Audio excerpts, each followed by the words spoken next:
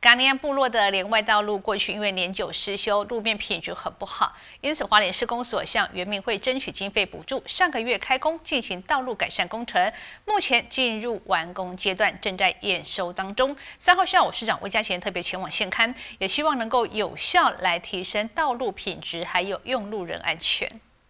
三号下午，市长魏家贤协同建设科长徐国成，还有原型课承办人员前往港尼亚部落现勘刚完工的连外道路工程。建造单位及施工厂商也在现场说明施作现况，并且仿照雨天模式，当场试验标线的防滑系数。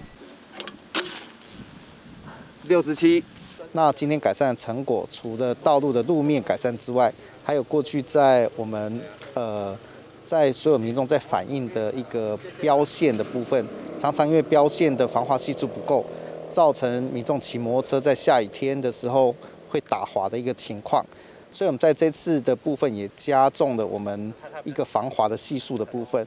那总共这个这条道路的长度七百九十公尺，那我们争取的预算哈在八百万以内，那来做相关的执行。那刚刚我们也做了相关的一个防滑系数的测试。那都是在六十五 ppn 以上的一个防滑系数，也符合我们过去在花莲哈很多民意代表所要求的一个数字上面。那我们希望说未来我们在市区的各项工程里面，也都能够把这样子的一个元素带进去。那这次改善过后，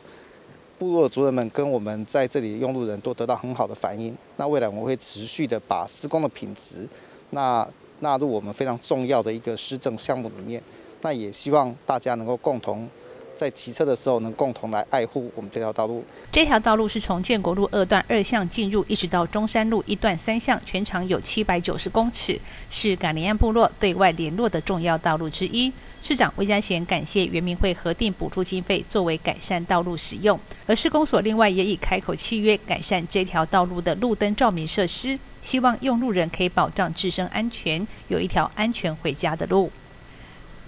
记者徐立琴华联市报道。